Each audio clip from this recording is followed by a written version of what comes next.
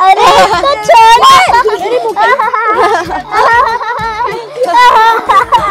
तो छोड़ प्रिंसिपल साहब आ गए।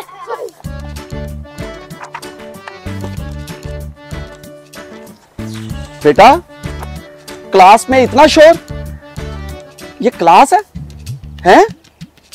बेटा सर जी, आप इधर बैठे हुए हैं और बच्चे क्या कर रहे हैं? क्या बात है? आपको सर की कोई रिस्पेक्ट का नहीं पता? हाँ बच्चों? कौन है आपका मॉनिटर आप बैठो। कौन है आपका मॉनिटर खड़ा हो जाए। खड़े हो जाए मॉनिटर ये बच्ची, ये तो बहुत काबिल बच्ची है।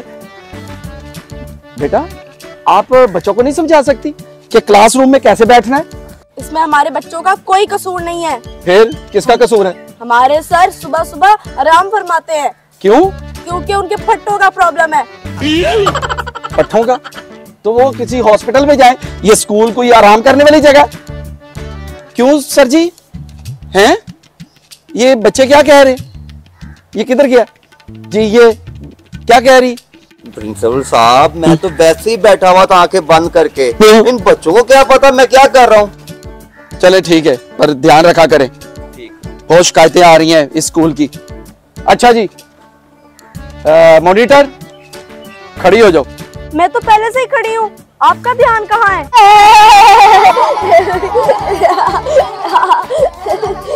ओए खामोश ये कैसे बच्चे हैं ये?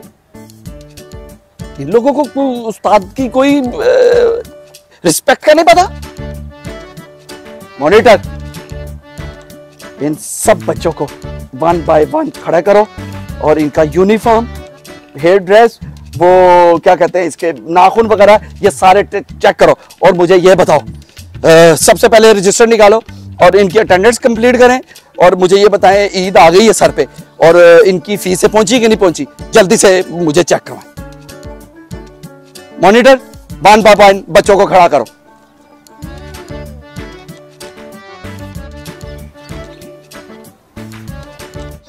हम्म सफ़ा खड़ी हो जाओ। चलो मुझे अपने हाथ दिखाओ। हम्म अपने बाल दिखाओ। कि बाल क्यों बिखरे हुए चलो कोई बात नहीं। लेकिन ये तो आपका यूनिफॉर्म है ही नहीं स्कूल का। फिर ये क्यों पहन के आई? बात सुनो। मेरी मम्मा सो रही थी उन्होंने कहा कि यही कपड़े पहन के चले जाओ। तो फिर ये बताओ कि आपके शूज़ कहाँ हैं? ये लेके आया ना वो मैंने ईद पे पहने हैं। सर जी। क्या? बताओ।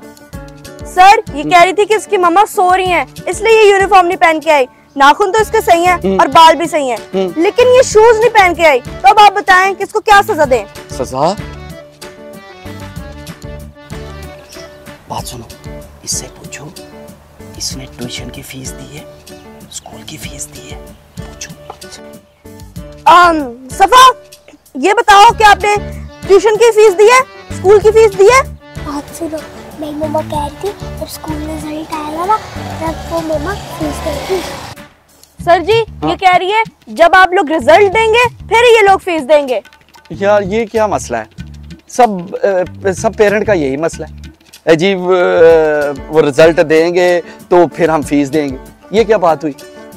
जब तक ये फीसें नहीं देंगे हम कैसे अपने टीचर्स को सैलरी देंगे? कैसे अकोमोडेट करेंगे स्कूल को? आप बताओ। ये ये ये ऐसे ऐसे थोड़ी होता है। तीन तीन महीने की इनकी फ़ीस पेंडिंग है। क्या करते हैं आप? चलो जाओ बैठो बैठो बैठो। अच्छा मेरी बात सुनो। अटेंडेंस पहले लगा लो। ओके बेटा बैठो आप। मैं हाजिरी लगाने लगा हूँ सबकी। सफ़ा। मरवा जमजम। अब्दुलरमान इब्राहिम। जमजम। नहीं सॉरी मूसा। आपी। प्रेजेंट।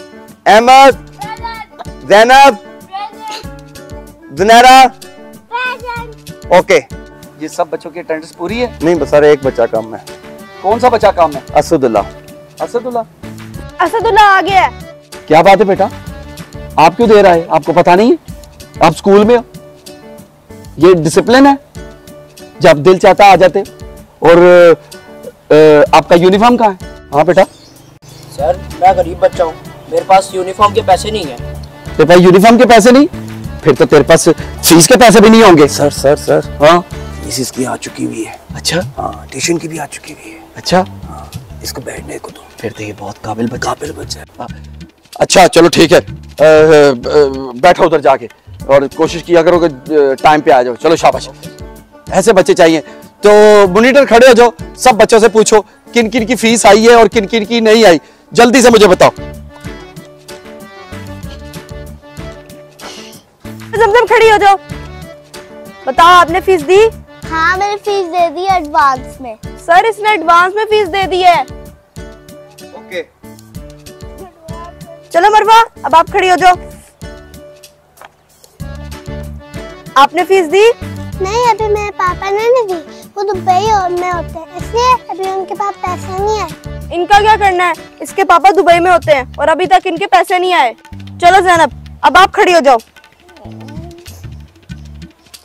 ये आपके कपड़ों को क्या हुआ है? शादी में जा रही हो? शादी के कपड़े क्यों पहने हुए हैं? सर ये देखें बच्चे कैसे कपड़े पहन के आ रहे हैं? और जैनब ये बताओ कि आपने फ़ीस दी है कि नहीं? वो मेरे बाबा ने बोला था ये स्कूल अच्छा नहीं है। हम ईद के बाद किसी और स्कूल में चले जाएँगे इसलिए उन्होंने फ़ीस नहीं दी। है? सर जी स्कूल को घाटा। घाटा? स्कूल में घाटा? सर जी हाँ? जैनब के पापा हमें चूना लगा रहे हैं। चूना? हम कोई पान के पत्ते हैं क्या? क्यों? क्या बात हुई? जैनब के पापा ने कहा है कि हम ईद के बाद स्कूल चेंज कर देंगे, इसलिए वो फ़ीस नहीं दे रहे। टीचर फौरी तौर पे इसके पापा को बुलवाएँ और इसका रिज़ल्ट रोक लें ओके इसको बिठाओ। दूसरे बच्चों को पूछो जल्दी जल्दी। ऐसे कैसे चलेगा भाई? जब चाहे दिल चाहता, बच्चे पेरेंट्स उठा लेते हैं। यहाँ पे सब कुछ ठीक चलता है। और ये समझ नहीं आती। हैं? और ये देखें, मैंने हाजिरी का रिज़ल्ट देखा आपका। और वो उसमें हफ़्ते हफ़्ते में तीन तीन दिन बच्चे स्कूल नहीं आते। ये क्या बात हुई? बच्चे नहीं आते और पेरेंट्स कहते हैं हमें कि आपका स्कूल ठीक नहीं है। जल्दी से इसके माँ बाप को बुलाएँ चलो मूसा खड़े हो जाओ। अच्छा मॉनिटर जी, जी मॉनिटर ये अपना हुलिया देखा है?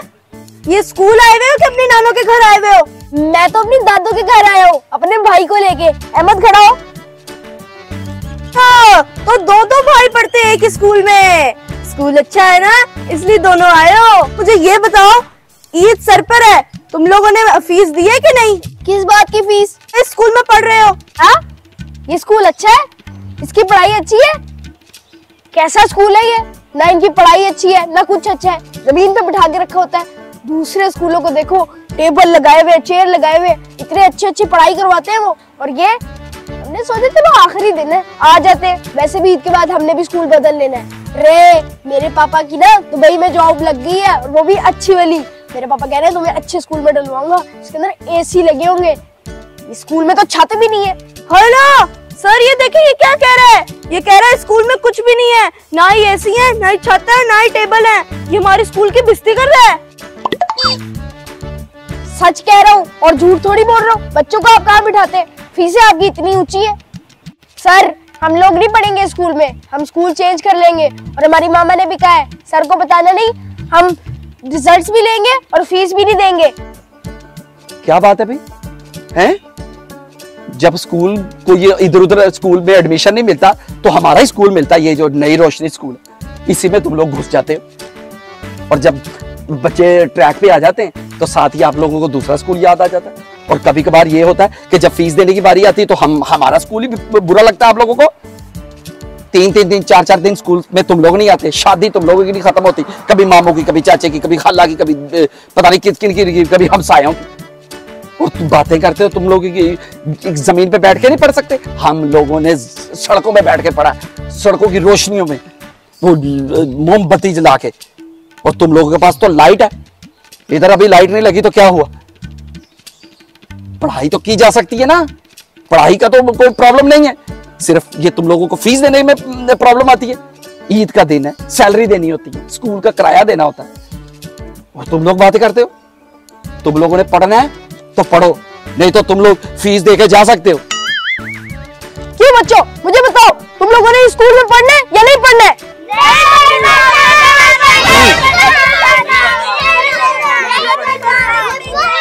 नहीं पढ़ना। है? ये ये ये क्या तुम लोगों ने इसका मतलब है कि स्कूल में यूनियन बना ली है? हाँ ये हमारी यूनियन है बच्चा पार्टी यूनियन। हैं? नहीं तो पढ़ेंगे नहीं पढ़ेंगे नहीं पढ़ेंगे अरे। नहीं पढ़ेंगे अरे क्या करें सर जी आप बताओ। ये मैं कह रहा हूँ ईद की छुट्टियाँ दे देते हैं बच्चों को बाकी बाद में देखेंगे उनके साथ। अच्छा। अभी दे दो छुट्टियाँ। पढ़ेंगे नहीं पढ़ेंगे नहीं पढ़ेंगे नहीं पढ़ेंगे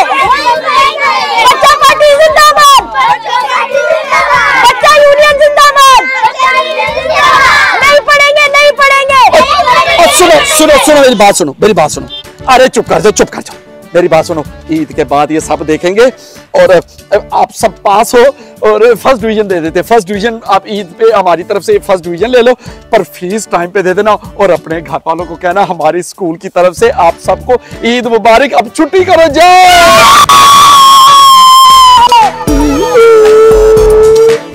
हमारी ईद कैसी हो? मैं मूसा तवीर फ्रॉम दुबई इस बच्चा पार्टी यूनियन का प्रेसिडेंट तो फ्रेंड हम सब की तरफ़ से आप सबको